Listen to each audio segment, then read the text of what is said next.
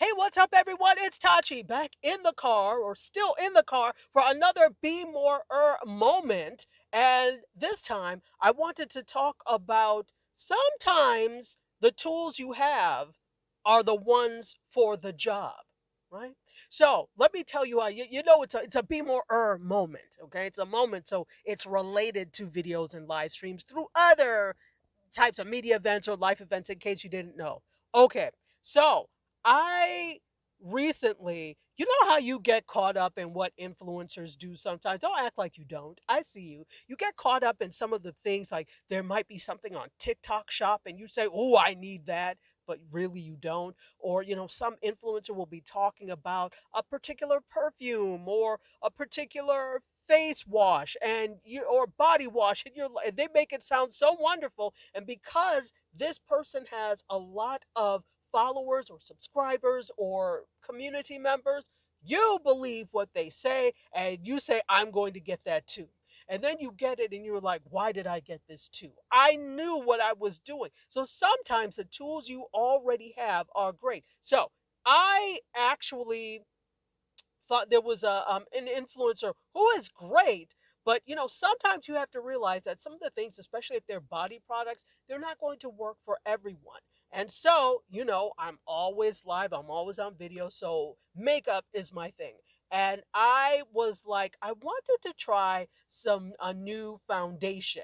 And this particular influencer said, "Oh, that's so great! It feels like skin." Blah, blah, blah, it does not feel like skin, and it's it's decent, but the tint. I have red undertone. I've discovered this now I always thought that I was more neutral or to to yellow, and I am not.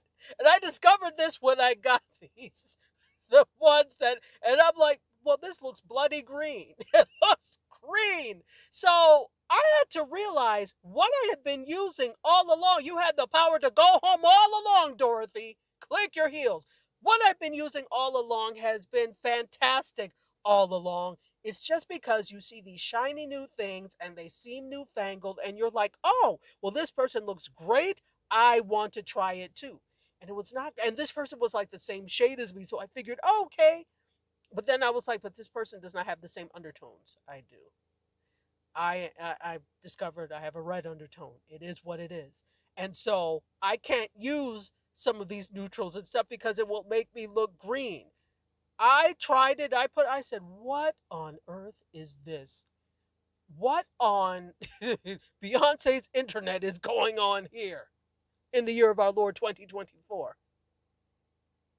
Anyway, so what does this have to do with video and live stream? A lot. Some of us are so busy saying, oh, well, we can't do the live stream or we can't do videos until we get equipment A, equipment B, equipment C. Or we already have equipment A, B, and C, and we are constantly fiending for a new camera, a new microphone, a new set of lights. I'm guilty because, you know, I'm a techie. I love all these stuff. I uh, stuffs, stuffs, stuffs, whatever. I love all of this stuff. I love um, microphones. I'm a sucker for new cameras. I love lighting. So I love all of these production toys. It's, whenever I get, I remember when I would get money, like if my mother would give me money uh, for for uh, Christmas or whatever.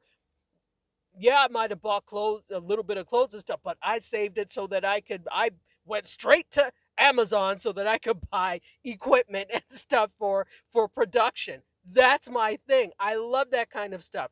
And so I but I don't always have what I have works. I've been using it. I've had the same cameras for the past um for the past 9 years. Yeah, for the past 9 years I've had the same cameras and they still work. They still serve its purpose. It still serves its purpose. Now, I am getting another camera that's a little more cinematic, but it has that's purpose in it. It has a different cinematic look. But for live stream and even for what I do with shooting, they're perfect. So the moral here is don't always be chasing the new or the new new because what you already have may be perfect. Also, remember, it's not always the camera. Some sometimes it's the user. It's not always the lighting. Sometimes it's the user. Uh, often, if it's bad sound, it's just bad sound. But is it? Did you plug it all the way in? So look at the equipment that you already have and play with it more. Is there something else that you could do to up the level of the way this looks? For a camera, for example, maybe you don't have enough light. Perhaps you didn't clean off your lens. Sometimes a bad camera is just the camera not being prepped or you don't know how to use it properly. Take the time to understand all of your equipment, how to get the most out of it. And then when you have, then you can look at, all right, I think I'm ready for something new. So that's what I want to say. Don't always be chasing that new foundation, Joe. Just saying. All right. Well, I hope that was helpful. It's also with being grateful. Eh, that's gratitude, being grateful for what you already have. That doesn't mean don't improve, but be grateful for what you have because then new things can come in once you've shown that gratitude. Okay, look at me. There we go. All right. Well, if you have any questions about equipment or shooting or that type of thing, go ahead and drop it in the chat below, and I will see you next time. This was more than a moment, but that's okay. Cheers.